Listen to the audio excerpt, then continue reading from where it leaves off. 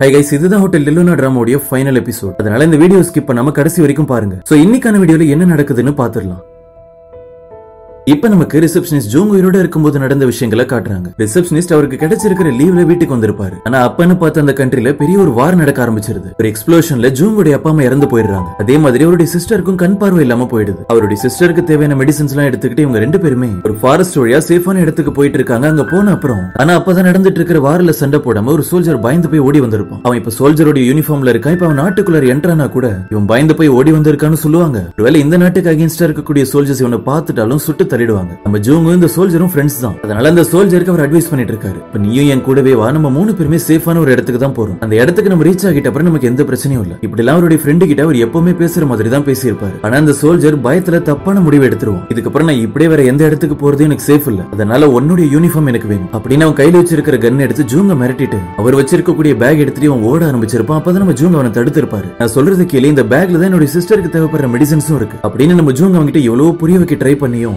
தெரியாதனமா அவன் கையில வச்சிருக்கக்கூடிய கன்னு ட்ரிகர் ஆகி நம்ம ஜூன் மேலேயே ஷூட் பண்ணிடணும். அவர் இறந்து போறதுக்கு முன்னாடி அந்த சோல்ஜர் கிட்ட நீ இப்ப பண்ண தப்புக்காக நீ தான் என்னுடைய சிஸ்டரை பாத்துக்கணும் கடைசி வரைக்கும் நீ தான் அவருடைய பிரதர் மாதிரி அவ கூடவே இருக்கணும். இப்படி எல்லாம் சொல்லிட்டு நம்ம ஜூங் அந்த ஃபாரஸ்ட்ல இறந்து போயிருப்பாரு. அந்த சோல்ஜரும் கண்ணு தெரியாத அந்த சின்ன பொண்ணு அவருடைய சிஸ்டர் மாதிரியே பாத்துக்க ஆரம்பிச்சாரு. நம்ம ஜூங்குடைய யூனிஃபார்ம் அவருடைய அடையாளம். அப்படின்னு நம்ம ஜூங்குடைய லைஃபே அந்த வயசான ஆளும் வாழ ஸ்டார்ட் பண்ணாரு. இப்ப அப்படியே பிரசன்ட்ல நம்ம யூனா மூலியமா இந்த வயசான ஆளு ஜூங்க பாக்க வந்த உடனே அவருடைய ஃப்ரெண்டோட ஃபேஸ பார்த்து பேச முடியாம ஒரு இடத்துல போய் சோகமா உட்காந்து அழுதுட்டு இருக்காரு. ஏன்னா அவர் மட்டும் ஷூட் பண்ணாம இருந்திருந்தா நம்ம ஜூம்க்கு அப்பவே ஒரு நல்ல லைஃப் கிடைச்சிருக்கும். அவருடைய சிஸ்டர் கூடவே ஹாப்பியா வாழ்ந்திருப்பாரு. இதெல்லாம் யோசிச்சு அவர் ஃபீல் பண்ணிட்டு இருக்கும்போது நம்ம ஹீரோயின் தான் அந்த இடத்துக்கு வந்து ஒரு சமாதானப்படுத்துறாங்க. இறந்து போறதுக்கு காரணமா இருந்தது உன்னுடைய ஃப்ரெண்டு தான். ஆனா அவர் பண்ண தப்புக்காக இப்ப வரைக்கும் உன்னுடைய சிஸ்டர் அவருடைய சிஸ்டர் மாதிரி தான் பாத்துக்கிறாரு. நீ அவர்கிட்ட பேசுன்னு சொல்றாங்க. நம்ம ரிசப்ஷனிஸ்ட் ஜூங்கும் அவருடைய ஃப்ரெண்டை மீட் பண்ணி அவர் பேசணும்னு ஆசைப்பட்ட எல்லா விஷயங்களுமே பேசிடுறாரு. இப்ப கொஞ்ச நேரத்துக்கு அப்புறம் ஹாஸ்பிட்டல் அட்மிட் ஆகியிருந்த ஜூங்குடைய சிஸ்டரும் ரொம்பவே சீரியஸான கண்டிஷன்ல உயிருக்கு போராடிட்டு இருக்காங்க. இப்ப நம்ம ஜூங்க காட்டுறாங்க. அவருக்கு ஒரு சின்ன ஆசை இருந்திருக்கும். ஆர்மில ஜாயின் பண்றதுக்கு முன்னாடி அவருடைய ஸ்டடிஸ் எல்லாம் முடிச்சிட்டு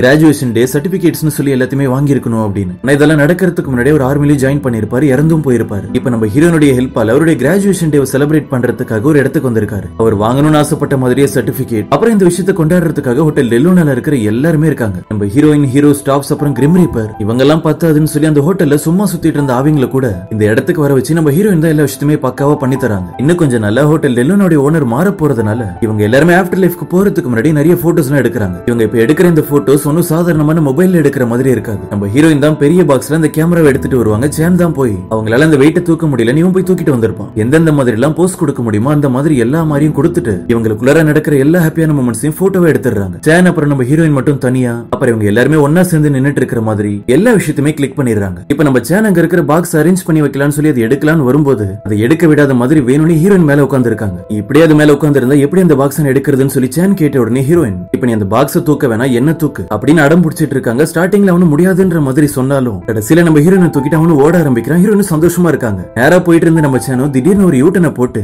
ஹீரோயின் அங்க இருக்கிற சோஃபால தூக்கி போட்டுறான் சரி இப்ப நான் எல்லாத்தையுமே ஃப்ரீயா அரேஞ்ச் பண்ணி வைக்கிறேன். அப்படின்னு அந்த பாக்ஸ் எடுத்துட்டு போகும்போது நம்ம ஹீரோயின் ரொம்பவே டென்ஷன் ஆகிறாங்க இப்ப அப்படியே கட் பண்ணா ரொம்ப நேரத்துக்கு அப்புறம் ரிசப்ஷனிஸ்ட் கிட்ட யூனா மீட் பண்ணி பேசுறாங்க. அவர் இந்த இடத்துல நடந்துட்டு இருக்கிற விஷயத்தெல்லாம் சொல்ல ஆரம்பிக்கிறாரு. இன்னும் கொஞ்சம் நல்ல ஹோட்டல் லெலுனா அப்படின்ற ஒரு இடமே இருக்காது. இங்க இருக்கிற நாங்க எல்லாருமே ஆஃப்டர் லைஃப்க்கு தான் போக போறோம். ஏன்னா இப்ப இந்த ஹோட்டலுக்கு வேற ஒருத்தர் தான் ஓனர் ஆக போறாங்க. அப்படின்னு அவர் சொன்ன அப்புறம் யூனாக்கும் ரொம்பவே கஷ்டமா இருக்கு. ஏன் இப்படி எல்லாம் நடக்குது? இப்ப இருக்கிற மானுலே மறுபடியும் இந்த ஹோட்டலுக்கு ஓனரா இருக்க முடியாது? அப்படின்னு சொல்லி யூனா கேட்கும் போது ரிசப்ஷனிஸ்டும் அந்த வயசான லேடி சரியான டைம் வந்துருச்சுன்னு சொல்லி ட்ரிங்க் ரெடி பண்ண ஆரம்பிச்சிட்டாங்க. அந்த ட்ரிங்க் அடுத்ததா யார் குடிக்கிறாங்களோ அவங்க மட்டும் தான் இந்த இடத்துடைய ஓனர் ஆக முடியும். அப்படின்னு இவர் சொன்ன அப்புறம் யூனாவும் நிறைய விஷயங்களை யோசிச்சு பார்க்க ஆரம்பிக்கிறாங்க. நம்ம ஏன் அந்த லேடியோட இடம் எங்க இருக்குன்னு தெரிஞ்சுக்கிட்டு அவங்களுக்கே தெரியாம அந்த ட்ரிங்க் எடுத்துட்டு வந்து மறுபடியும் மானுலுக்கே தரக்கூடாது. அந்த ட்ரிங்கை மட்டும் மானுல் குடிச்சா இந்த இடத்துக்கு அவங்க தானே ஓனரா இருக்க முடியும். அப்படின்னு யோசிச்சுட்டு ஒரு பிளான பண்ணிட்டு நம்ம சேன் கிட்ட அந்த வயசான லேடியோட அட்ரஸ் இருந்திருக்கும். அந்த விசிட்டிங் கார்டை தேடி கண்டுபிடிச்சிட்டு அதுல இருக்கிற அட்ரஸ்க்கும் போயிடுறாங்க. அப்ப அந்த இடத்துல அந்த வயசான லேடியும் இல்ல நம்ம யூன் ஆசைப்பட்ட மாதிரி அந்த ட்ரிங்க் அவங்க கண்ணுல பட்டுருது. உடனே அதை எடுத்துட்டு ஹோட்டல் லெலுனாக்கும் நேரா வந்து நம்ம ஹீரோயின் கிட்டயும் அதை தந்துடுறாங்க. இப்ப நம்ம ஹீரோயின் கையில அந்த பாட்டில வச்சுட்டு சேனுக்காக தனியா வெயிட் பண்ணிட்டு இருக்காங்க. அவன் வந்த உடனே இப்ப நான் இந்த ட்ரிங்க் மட்டும் குடிச்சிட்டா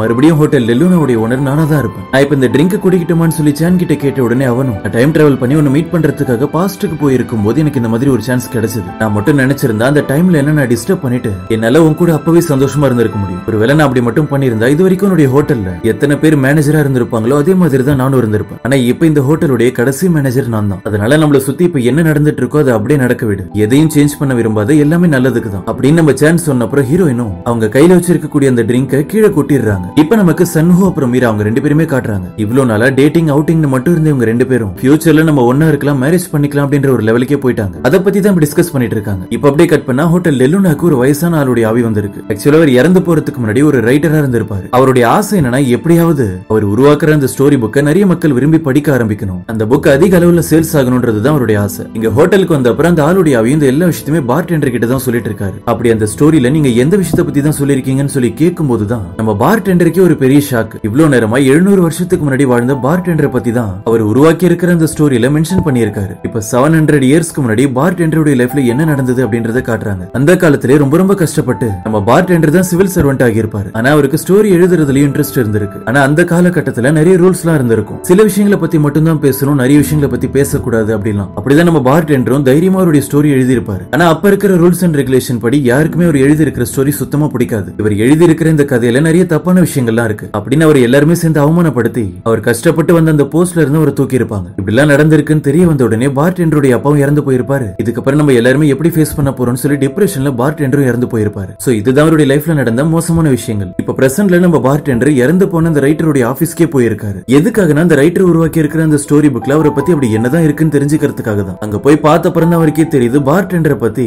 எப்படி அவர் தப்பானவர் தப்பான நிறைய விஷயங்கள் அவருடைய கதையில இருக்கு. இந்த மாதிரிலாம் ஒரு உயிரோட இருந்திருக்கும் போது மக்கள் எல்லாம் ட்ரீட் பண்ணிருப்பாங்களோ இப்ப அதே மாதிரி. இப்ப அந்த ரைட்டர் உருவாக்கி இருக்கிற அந்த ஸ்டோரிலையும் பார்டெண்டரை பத்தி தப்பான இன்ஃபர்மேஷன் தான் கொடுத்திருக்காரு. இந்த உண்மையெல்லாம் தெரிய வந்த உடனே எப்படியாவது இந்த புக் எல்லாம் பப்ளிஷ் பண்ண விடாம தடுத்து நிறுத்தணும்ன்றதுக்காக அந்த ஆபீஸ்ல இருக்கிறவங்க எல்லாம் பயமுறுத்திட்டு இருக்காரு. ஆனா அவரால் அதையும் ஒழுங்கா பண்ண முடியல. இப்ப ஹோட்டல்ல இருக்கிற நம்ம ஹீரோயினுக்கு அங்க இருக்கக்கூடிய ரைட்டருடைய ஆவி மூலியமா அவருடைய ஸ்டோரியில பார் டெண்டர் தப்பா தான் மென்ஷன் பண்ணிருக்காங்க நம்ம ஹீரோனுக்கு தெரிய வந்துருது. அவர் இப்ப எங்க இருக்காருன்னு கண்டுபிடிச்சு நம்ம சேனோ ஹீரோயினும் ஆபீஸ்க்கு பார் டெண்டரை பாக்கலான்னு வந்தா அவர் ரொம்பவே சோகமா இருக்காரு. எந்த அளவுக்கு சோகமா இருக்காருன்னா நான் ஹோட்டல் லெலுனாக்கே வர மாட்டேன்னு சொல்லி அடம் பிடிச்சிட்டு நம்ம சேனுடைய க்ளோஸ் ஃப்ரெண்ட் வீட்டுல தான் இப்ப அவர் இருக்காரு. அவனுடைய சேஃப்டிக்காக அதே இடத்துல கிரிம்ரிப்பரும் இருக்காரு. இப்ப நம்ம ஹீரோயினும் சேனோ ஹோட்டல்ல இருக்கக்கூடிய அந்த ரைட்டருடைய ஆவியை மீட் பண்ணி நீ உருவாக்கி இருக்கிறவனுடைய ஸ்டோரியில பார் டெண்டரை பத்தின உண்மையெல்லாம் தெரியாம அவரை தப்பா மென்ஷன் பண்ணிருக்க அந்த ஸ்டோரி புக்கும் சீக்கிரமா பப்ளிஷ் ஆக போகுது. இதுக்கு ஒரே வழிதான் இருக்கு. இவனுடைய ஸ்டோரியில தப்பா மென்ஷன் பண்ணி இருக்கிற பார்டெண்டருடைய கேரக்டர் அவர் மேல எந்த தப்புமே இல்லாத மாதிரியும் ஒரு நல்லவர் மாதிரியும் மாத்து. இப்ப இந்த ஸ்டோரியில என்னெல்லாம் மாத்தணும்னு நினைக்கிறியோ? அதை ட்ரீம் கால் மெத்தட் யூஸ் பண்ணி உன்னுடைய ஆபீஸ்ல யார் இந்த புக்கை பப்ளிஷ் பண்ண போறாங்களோ அவங்க கிட்ட சொல்லிடு. அப்படின்னு ஹீரோயின் ஒரு ஐடியா தந்த உடனே எல்லாமே சரியா நடக்குது. சோ எப்படி அந்த பார்டெண்டருடைய கதையை கொஞ்சம் சேஞ்ச் பண்றதுன்னு அவர் யோசிச்சுட்டே இருக்கும்போது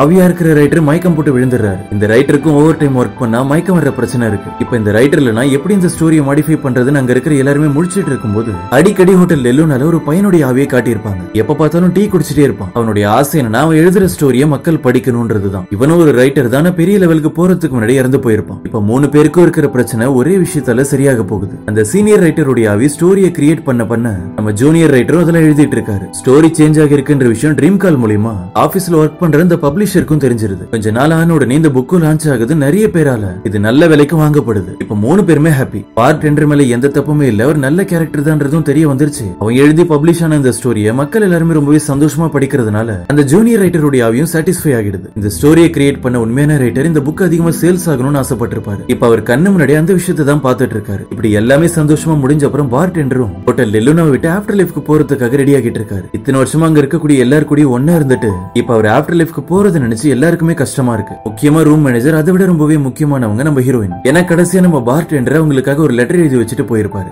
இப்ப வரைக்கும் இந்த இடத்துல ரொம்பவே சந்தோஷமா இருந்திருக்கேன். ஹோட்டல் லெலுனா என் கூட இருந்தவங்கன்னு சொல்லி எல்லாருமே எனக்கு ஒரு ஃபேமிலியா இருந்தாங்க. இப்படிலாம் நடந்ததுக்கு நான் உனக்கு தான் தேங்க்ஸ் சொல்லணும். ஏன்னா நீ மட்டும் இல்லனா எனக்கு எப்படி ஒரு ஃபேமிலி கிடைச்சிருக்காது. அப்படின்னு அவர் எழுதி வச்சுட்டு போன விஷயங்களை படிச்ச அப்புறம் ஹீரோயினும் ரொம்பவே ஃபீல் பண்ணி எழுதிட்டு இருக்காங்க. ஆனா இப்ப வரைக்கும் பார் டெண்டர் கிட்ட இந்த விஷயத்தை அவங்க வெளியே காட்டியே இருக்க மாட்டாங்க. இப்ப அப்படியே கொஞ்ச நாளுக்கு அப்புறம் ஹாஸ்பிட்டல் அட்மிட் ஆகி இருக்கிற நம்ம ரிசப்ஷனிஸ்ட் ஜூங்கோடைய சிஸ்டரும் இறந்து போயிருக்காங்கன்னு தெரிய வந்திருக்கு. இறந்து போன இந்த லேடியுடைய சொல் அவங்களுடைய உடம்பு விட்டு வெளியே வந்த உடனே அவங்களுடைய உண்மையான பிரதரை மீட் பண்றதுக்காக டோர் ஓபன் பண்ணும்போது நம்ம ஜூங் உயிரோட இருக்கும்போது அவருடைய சிஸ்டர் எப்படி பார்த்திருப்பாரு இப்ப அப்படியே தான் இருக்காங்க. அவங்க ரெண்டு பேருமே ஒன்னா பார்த்த உடனே நம்ம யூனாக்கும் தெரிஞ்சிருது. ரிசப்ஷன் ரிசப்ஷனிஸ்ட் இவங்களை விட்டுட்டு இப்ப ஆஃப்டர் லிஃப்க்கு தான் போக போறாரு அப்படின்னு. நம்ம யூனாவால அந்த விஷயத்தை ஏத்துக்கவே முடியல. அழுதுட்டே அந்த இடத்துல இருந்து ஓடி போயிடுறாங்க. கொஞ்ச நேரத்துக்கு அப்புறம் தனல் வழியா ரிசப்ஷனிஸ்ட் அவருடைய ஆஃப்டர் லிஃப்க்கு போகும்போது யூனாவும் அவரை கடைசியா வழி அனுப்பி வைக்கிறதுக்காக கையில பிளவர்ஸோட வந்திருக்காங்க. எனக்கு நல்லா தெரியும் இந்த விஷயத்தை பத்தி நான் யோசிக்கிறதுனாலயோ கவலைப்படுறதுனாலயோ எதுவுமே சேஞ்ச் ஆக போறது இல்ல நான் இதுக்கப்புறம் நல்லா படிக்கிறேன். என்னுடைய லைஃப் ரொம்பவே சந்தோஷமா இருக்கும். இப்படிலாம் நம்ம யூனா பேசிட்டு அவர் ஆஃப்டர் லைஃப்க்கு அனுப்பி வச்சிடறாங்க. ஆனா அவங்களை விட்டு கொஞ்ச தூரம் அவர் பிரிஞ்சு போன உடனே இவ்வளவு நேரமா ஒரு முன்னாடி சிரிச்சு பேசிட்டு இருந்த நம்ம யூனா இவங்களுக்குள்ளார நடந்த எல்லா ஹாப்பியான மூமெண்ட்ஸையும் யோசிச்சு பார்த்துட்டு ஃபீல் ஃபீல் பண்ணி அழுதுட்டு இருக்காங்க நம்ம ரிசப்ஷனிஸ்டும் அப்படிதான். அந்த கார்ல டிராவல் பண்ணி போகும்போது கூட யூனவை நினைச்சு அழுதுட்டே தான் போறாரு. இப்ப கொஞ்ச நாளுக்கு அப்புறம் உங்களுடைய லைஃப் புதுசா ஸ்டார்ட் பண்றதுக்காக மீரா அப்புறம் சன்ஹு இவங்க ரெண்டு பேருமே ஒரு ஷாப்புக்கு போய் அவங்களுக்கு தேவையான திங்ஸ் எல்லாம் வாங்கிட்டு இருக்காங்க. ஆனா அதே இடத்துல தான் நம்ம ஹீரோ இன்னும் இருக்காங்க. சன்ஹூ பக்கத்துல இல்லாத டைமா பார்த்து அந்த மீரா கிட்ட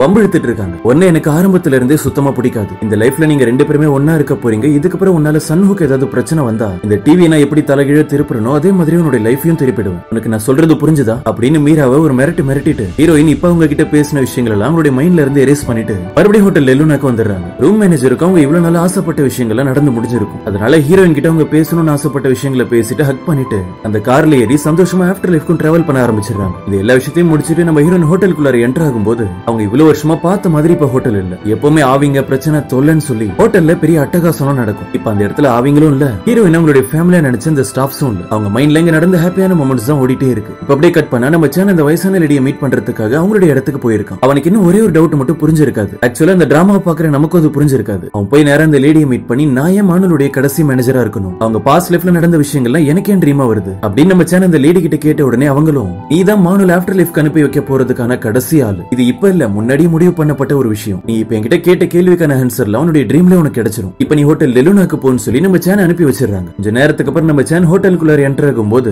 யாருமே இல்லாம ஹீரோயின் தனியா ஃபீல் பண்ணிட்டே நின்னுட்டு இருக்கிறதையும் பாக்குறான் சேன் வந்த உடனே ஹீரோயினும் எல்லாருமே என்ன விட்டுட்டு ஆஃப்டர் லைஃப்க்கு போனது எனக்கு ரொம்பவே கஷ்டமா இருக்கு. நான் நிம்மதியா கொஞ்ச நேரம் படுத்து தூங்கணும்னு ஆசைப்படுறேன். அப்படின்னு நம்ம சேன் கிட்ட சொன்ன உடனே அவனும் ஹீரோயின் அவனுடைய கையாலே தூக்கிட்டு போயிடுறான். இவங்க ரெண்டு பேருமே கொஞ்ச நேரத்துக்கு எல்லா கவலையும் மறந்து தூங்கவும் ஆரம்பிக்கிறாங்க. அப்பதான் நம்ம சேனுக்கு எப்பவுமே வர்ற மாதிரி ஒரு ட்ரீமும் வருது. இந்த ட்ரீம்ல நம்ம ஹீரோயின் அவங்களுடைய பாஸ் லைஃப்ல ஒரு சின்ன பொண்ணா இருந்திருப்பாங்க. அப்பதான் அவங்க இருந்த நாட்டுல போர் நடக்குதுன்றதுனால நம்ம ஹீரோயின் அவங்களுடைய அப்பா அம்மாவும் வேற ஒரு இடத்துக்கு தப்பிச்சு வரும்போது நம்ம ஹீரோயினை தவிர அவங்க கூட இருந்த எல்லாருமே இறந்து போயிருப்பாங்க. ஹீரோயினும் ரொம்ப நாளா எதுவுமே சாப்பிடாம தண்ணியும் குடிக்காம இறந்து போற நிலைமையில தான் இருக்காங்க. அப்ப இதே இடத்துக்கு அந்த வயசான லேடியும் கிரிம் ரீப்பரும் அவர் ஒரு ஏன்ஷியன்டான கெட்டப்ல வந்திருக்காரு. அந்த பொண்ணு எப்படி இறந்து போக தான் போறா? அவருடைய சூழல் எடுத்துட்டுமா? அப்படின்னு கேட்கும்போது அந்த வயசான லேடி இன்னும் கொஞ்ச நேரம் வெயிட் பண்ணி பார்க்கலாம். எது வேணும்னாலும் சேஞ்ச் ஆகலாம் அப்படின்னு சொல்லியிருப்பாங்க. அவங்க சொன்ன மாதிரி அதே இடத்துக்கு ஒரு சின்ன பையனும் அவனுடைய அப்பாவும் வராங்க. இந்த பையன் வேற யாரும் இல்ல. இப்ப பிரசன்ட் லைஃப்ல இருக்கிற நம்ம சேன் தான். அவனுடைய பாஸ்ட் லைஃப்ல இந்த இடத்துக்கு வந்திருப்பான். அங்க இருக்கிறவங்க எல்லாருமே இறந்து போயிட்டாங்கன்னு தெரிஞ்ச அப்புறம் ஹீரோயினை செக் பண்ணி பார்க்கும்போது அவங்க மட்டும் தான் உயிரோட இருக்காங்கன்னு தெரிய வந்த உடனே அவங்களுக்கு தேவையான சாப்பாடு தண்ணின்னு எல்லாமே நம்ம சேன் தான் தந்திருப்பான் அவனுடைய பேர் என்னன்னு சொல்லி நம்ம சேன் ஹீரோயின் கிட்ட கேட்கும்போது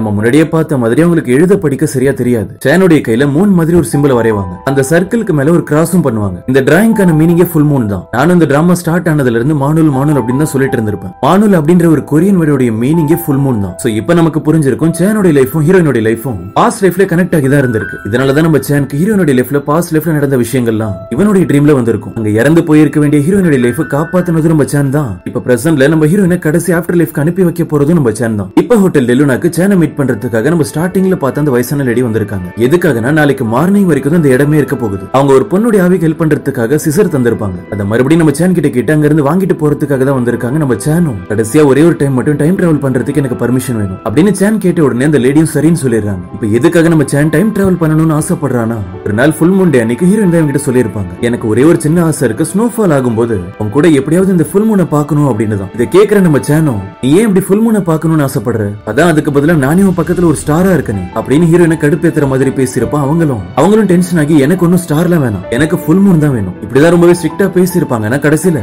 சேனுடைய ஃபேஸ்ல கை வச்சு என்ன இருந்தாலும் நீ தான் என்னுடைய பிரைட்டஸ்ட் ஸ்டார் அப்படின்னு அவங்க சொன்ன உடனே பதிலுக்கு நம்ம சேனும் அதே மாதிரி அவங்களுடைய ஃபேஸ்ல கை வச்சு நீ தான் என்னுடைய ஃபுல் மூன் அப்படின்னு இவன் சொல்லியிருப்பான். இப்ப கடைசியா அவங்க ரெண்டு பேருமே ஒன்னா சேர்ந்து அங்க இருக்கிற மரத்தை சுத்தும் போது டைம் டிராவல் பண்ணி ஸ்னோஃபால் ஆகிட்டு இருக்கிற ஒரு டைம்க்கு வந்துடுறாங்க. நம்ம ஹீரோயின் ஆசைப்பட்ட மாதிரியே சேன் கூட ஒன்னா சேர்ந்து ஸ்னோஃபால் அங்க இருக்கிற ஃபுல் மூனையும் பாக்குறாங்க இப்ப மட்டும் இல்ல கண்டிப்பா ஃபியூச்சர்லயும் நம்ம ரெண்டு பேரும் ஒன்னா சேர்ந்து இந்த மாதிரி ஸ்னோஃபால பார்க்க போறோம். அப்படின்னு நம்ம சேன் ஹீரோயின் கிட்ட சொல்றேன். அதெல்லாம் கேட்கிற ஹீரோயினுக்கு சந்தோஷமா இருந்தாலும் அவங்க ஆஃப்டர் லைஃப் போக வேண்டிய டைமும் வந்துருச்சு. தனலுக்கு பக்கத்துல போய் அவங்க நின்னுட்டு இருக்கும்போது சேனை விட்டு பிரிய முடியாததுனால ரொம்பவே ஃபீல் பண்ணி அழுதுட்டு இருக்காங்க. அவங்களை ஆஃப்டர் லைஃப்க்கு அனுப்பி வைக்கிறதுல நம்ம சேனுக்கு கொஞ்சம் கூட சந்தோஷமே இல்ல. ஆனா இப்ப வேற வழி இல்லாததுனால நம்ம ஹீரோயினும் அந்த தனலுக்குள்ளார போக ஆரம்பிக்கிறாங்க. ரொம்ப தூரம் நடந்து போனதுக்கு அப்புறம் இந்த பிரிட்ஜையும் ரீச் பண்ணி அவங்க ஆஃப்டர் லைஃப்க்கு போகும்போது நம்ம ஹீரோயின் சந்தோஷமான ஒரு விஷயத்தை யோசிச்சு பாக்குறாங்க. அது என்னன்னா நம்ம சேன் கிட்ட அவங்க முன்னாடியே சொன்ன மாதிரி அந்த பிரிட்ஜோட எண்ட் வரைக்கும் அவங்க லைஃப்ல நடந்த எந்த விஷயங்களை மறந்தாலும் சேனை பத்தின மெமரிஸ் மட்டும் மறக்க மாட்டாங்க அப்படின்னு. அவங்க சொன்ன மாதிரி அந்த பிரிட்ஜோட எண்டு வரைக்கும் சேனுடைய மெமரிஸ் அவங்களுக்கு ஞாபகம் இருக்கு. இப்ப ஆஃப்டர் லைஃப்க்கு போறதுக்காக இவங்க யூஸ் பண்ணிட்டு இருந்த தனலும் சாதாரணமான ஒரு தனலா மாறிடுது. ஹோட்டல் டெல்லுனா அதுல இருந்த போட்டோஸ் அங்க இருந்த எல்லா விஷயமும் கொஞ்சம் கொஞ்சமா மறைஞ்சும் போயிடுது. நம்ம சேன் மார்னிங் வரைக்கும் ஹீரோனுடைய ஞாபகமா அங்கேயே தான் நின்னுட்டு இருக்கான். இப்ப ரொம்ப நாளுக்கு அப்புறம் நம்ம சேன் யூனாவை மீட் பண்ணி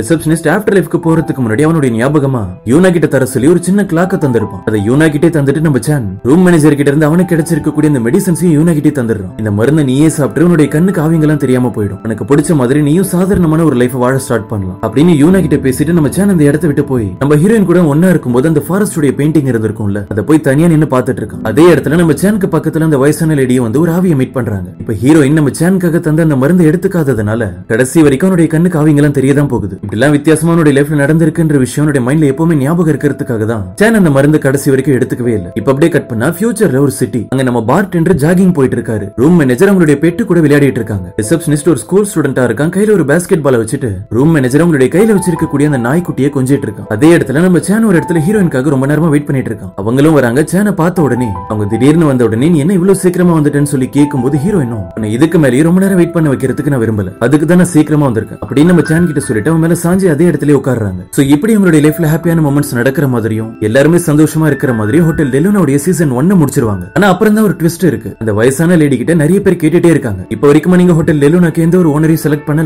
யார் யார்தான் புதுசா வர போற அந்த ஓனர் அந்த ஹோட்டலுடைய பேர் என்னன்னு சொல்லி கேட்கும்போது அந்த வயசான லேடியும் என்னமோ ஒரு பேரை நான் யோசிச்சு வச்சிருந்தேன் அதை தான் மறந்துட்டேன். ஹோட்டல் ப்ளூ அப்படின்னு ஏதோ ஒன்று ஆரம்பிக்கும். இப்படிலாம் அவங்க பேசிட்டே இருக்கும்போது கட் பண்ணி அப்படியே ஹோட்டல் ப்ளூ மூணு நம்ம காட்டுறாங்க. ஆமா இப்ப ஹோட்டல் லெலுனா தான் ப்ளூ மூணு சேஞ்ச் ஆகிருக்கு இப்ப இந்த புது ஹோட்டலுக்கு ஒரு புது ஓனரும் இருக்காரு. அங்க வேலை செய்யற ஸ்டாஃப்ஸ் அங்க இருக்கிற அவங்க கிட்ட எல்லாம் கையில ஒரு கிளாஸ் எடுத்துட்டு மாசம் நடந்து வந்து ஒரு அனௌன்ஸ்மெண்ட்டையும் தராரு. லூனார் டே வந்திருக்குன்னு நினைக்கிறேன் எல்லாருமே பிசினஸ் ஸ்டார்ட் பண்ணலாம். எல்லாருமே ரெடியா தானே இருக்கீங்க. அப்படின்னு அவர் சொல்லிட்டு அந்த இடத்த விட்டு போகும்போது இந்த டிராமாவும் முடிஞ்சிருது. ஹோட்டல் டெல்லுனுடைய சீசன் டூ தான் ஹோட்டல் ப்ளூ மூன் அது இன்னும் ரிலீஸ் ஆகல. ஒருவேளை சீசன் டூ வந்தா கண்டிப்பா நம்ம சேனல்ல அதை நீங்க பார்க்கலாம். சோ இந்த டிராமா எப்படி இருந்தது? உங்களுக்கு இதுல பிடிச்ச கேரக்டர்ஸ் யாரு? ஸ்டார்டிங்ல நான் இந்த டிராமாவை பார்க்க ஆரம்பிக்கும் போது இதுல என்ன பெருசா ட்விஸ்ட் இருக்க போகுது? எப்படி நம்ம சேன் தான் அந்த கமெண்டரா இருக்க போறான்னு நினைச்சு நான் ஏமாந்துட்டேன். ஆனா அந்த மின்மினி பூச்சில இவங்க வச்சிருக்கிற அந்த ட்விஸ்ட் நான் கொஞ்சம் கூட எதிர்பார்க்கல. சோ அடுத்த டிராமா நம்ம சீக்கிரமாவே ஸ்டார்ட் பண்ணிடலாம். C you guys